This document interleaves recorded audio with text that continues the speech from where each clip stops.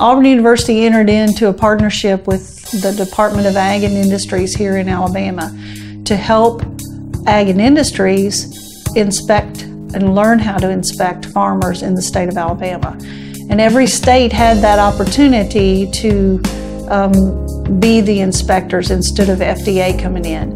And from our point of view, we're kind of down home Southern folks that we like Southern folks to do our stuff for us.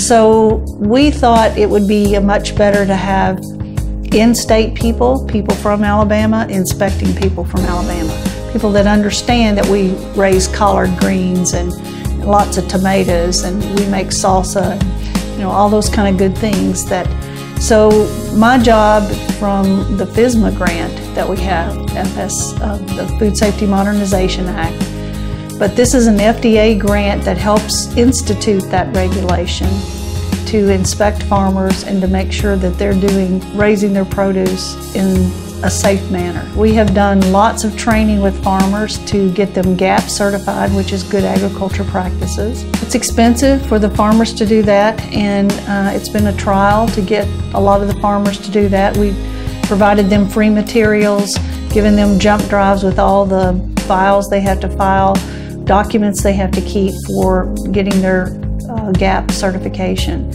And that's been a, somewhat of a help to them, but still they've got to go out and do the work and they've got to keep up with the paperwork. And there's a lot of paperwork with it. The Food Safety Modernization Act with the produce safety rule, not much different. They're a little bit less paperwork, but still lots of paperwork. For a farmer that has not been used to doing that, it's kind of an uphill slide for them. So our job is to help them with that. Uh, one of the regulations is they must take the Produce Safety Alliance training course, uh, which we've taught a few around the state. We will ramp it up a little bit more this fall.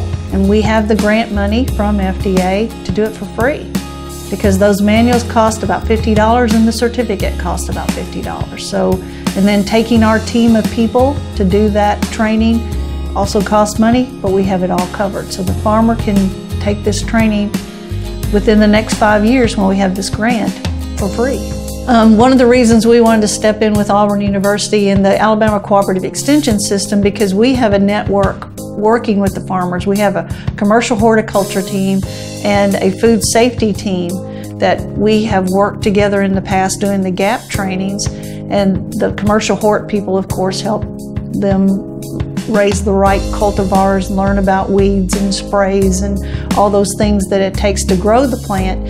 And then on the food safety side and food processing side, we help the farmers get their product to market. If you have too many peaches, we can teach you how to make peach jam.